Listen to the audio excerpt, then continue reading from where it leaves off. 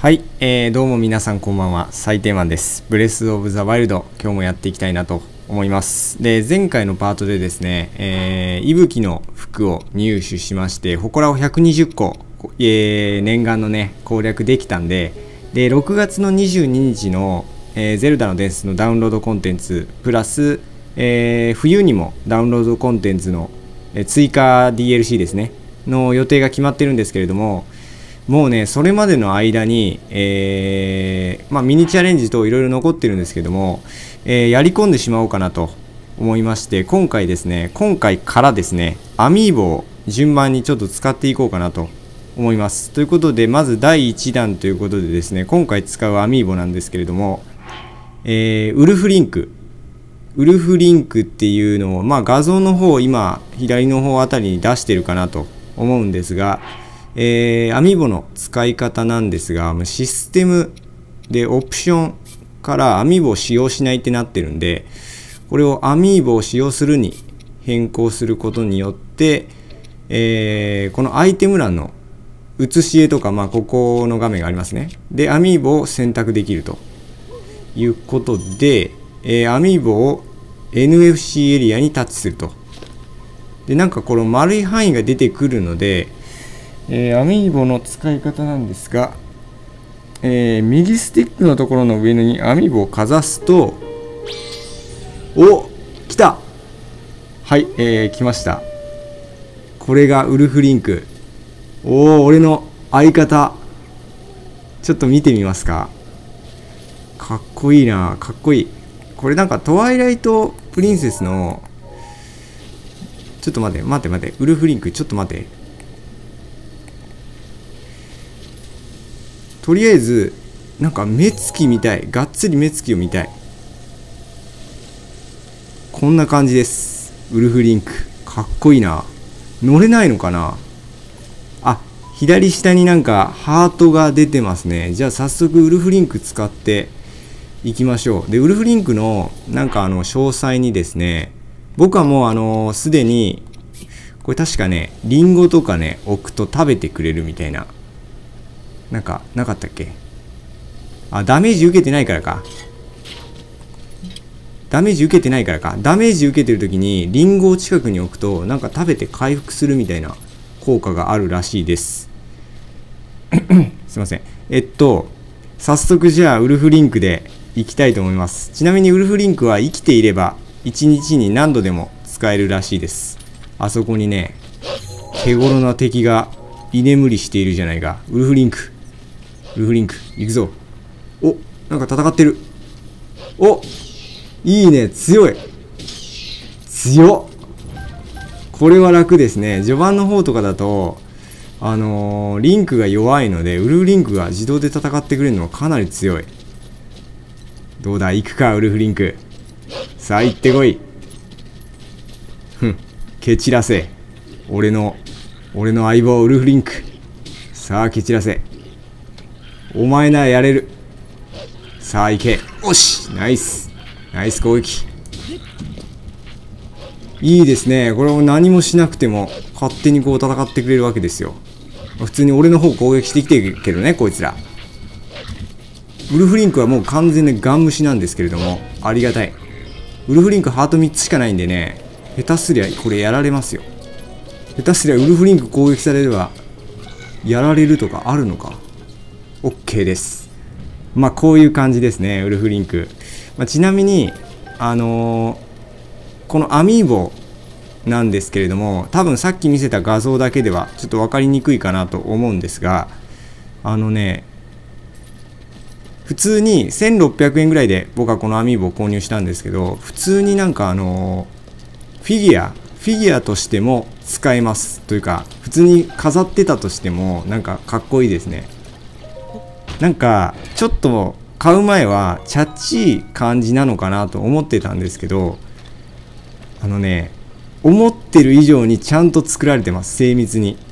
あのプラスチックというかがっつり金かけてるなっていう感じのフィギュアの質感をしてますね。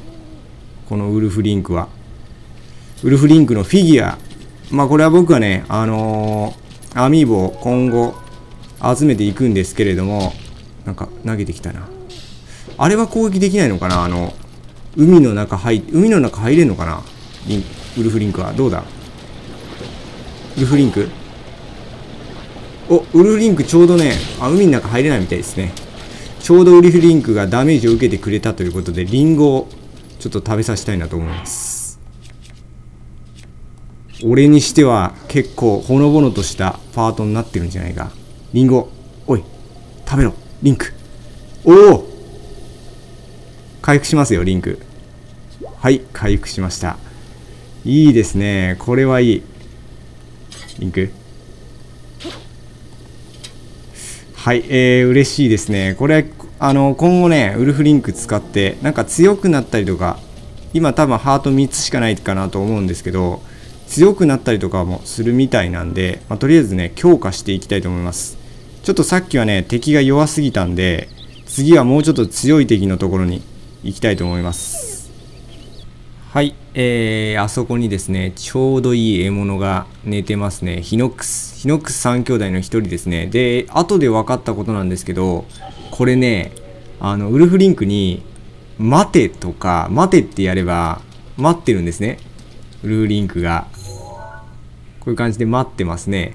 で、えー、恋っていう、なんか ZL を押して、恋をすると、こう、指示が出せるみたいなこともできるみたいです。いやー、これはね、ありがたい。で、なんか、さっきも言ったかもわかんないですけど、祠の場所、僕はもう120個攻略してしまったんですけど、祠の場所もね、えー、祠が近くにあれば行ってくれるみたいです。なんか序盤の方に連れてればね、もっと楽だったのかなと思うんですけど、さあ行け、ウルフリンク。ねじ伏せてやれ。よし。お前の相手にとってはちょうどいいだろう。このウルフリンクがどれほどの強さを発揮するのかちょっと見てみよう。相当強いはずだぞこいつは。効かないな。うやばい。ちょっと待って。やばい。死ぬ。ウルフリンクが。ええ。リンク。ウル。フうう。お前許さん。絶対許さんこいつ。マジ許さんし。こいつやってくれたなマジで。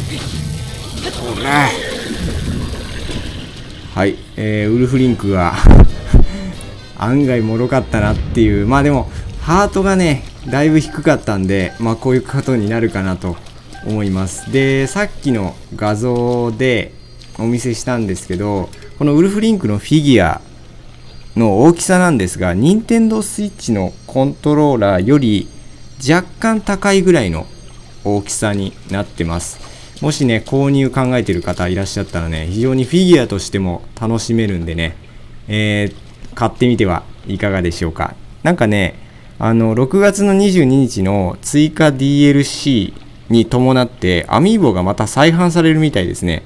今、あの、アミーボが世にほとんど出回ってない、なんか希少品みたいな状態になってるんですけど、また、なんか再入荷みたいな、再販されるみたいなんで、入手もまたしやすくなるかなと思います。ということで、えー、次のアミーボ、もう一つアミーボね、この動画であるので、えー、次のアミーボ紹介したいなと思います。はい、えー、続いての、えー、アミーボなんですけれども、えー、僕が購入したアミーボはですね、スマッシュブラザーズに出てきたガノンドロフのアミーボですね。またこれも画像を横に出してるかなと思うんですけども、これも早速使っていきましょう。で、これがどういう効果があるのかと言いますとアイテムがもらえるらしいです。でこれもですねフィギュアとして非常になんかかっこいい感じに。はい、えー、来ました。アイテムが大量に降ってきております。これ一つずつじゃあ開けていきましょうか、まあ、とりあえず宝箱だな。なんかね手に入るものがなんか1日ごとにランダムで変わってくるみたいなことらしいのでまあこれ壊すのかなそうですね。これ中になんかいろいろ入ってるみたいです。で、なんか毎日別のものが入ってたりとかするみたいなんで、なんですけれども、お、これ、50ルピーですね。まあ、これが1日1回できるっていう効果らしいんですけれども、で、時たま、まあ、当たり外れが、えー、ガノンドロフのアミーボはあるんですが、多分これね、今使うと、もう、もう使えません。今日はもう使えませんみたいなことが出るかなと思うんですがこれ連続でね使う方法がありますあるらしいので、えー、それをちょっと試してみたいなと思います確かね任天堂 switch の本体のこれは非合法かちょっとわかんないんですけど本体の日付をいじれば連続で1日でも使えるみたいなことを聞いたんですけどこれはどうなのかな？これおすすめしていい内容なのかわかんないんですけどもちょっとやってみたいなと思います。はい。えーとね本体の設定というか時間をいじるのはなんか嫌だみたいな方もしかしたらいらっしゃるかなと思うんですけれどもえっ、ー、とねセーブデータをロードし直すっていう方法でもできるみたいですね。ちょっと使っていきましょう。おいけました。はい、えー、セーブデータをロードして何度も何度も繰り返して狙ったアイテムを狙うみたいな。で基本的にあのガノンドロフのアミーボで手に入る武器っていうの武器っていうかアイテムっていうのがゲルド系の武器なんですね。でゲルドの両手剣これ十分強いんですけれども俺が狙っているのはですね一番レアとされている武器、えー、出るまでちょっと試してみたいなと思います。はい、えー、ついにね、出ましたので、ちょっと止めました。えっ、ー、と、僕がね、欲しかった武器、えー、ガノンドロフのアミーボの目玉ともいえるこの6賢者の剣ですね。えー、黄昏の魔物と戦った勇者の世界で6人の賢者たちが魔王を封印するために作ったと言われる体験その闘神は神秘的な白い輝きを放っているということでですね僕が欲しかったのがこれですねこのえー、ガノンドロフのアミーボの、まあ、目玉とも言うべきアイテムなんですけれどもこれがですねちょっと使ってみましょうか。なんかねあのー、強さどうこうの前にめっちゃかっこいいらしいです。おー。確かにかっこいいですね。どうですかこの体験。ちょっと振るってみましょうか。こんな感じです。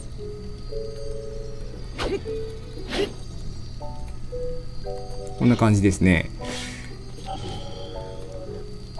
はいえーととりあえず家でちょっと飾ってみましょう。はい、えー、じゃあ早速飾っていきましょうか、えー、飾った感じがこういう感じです。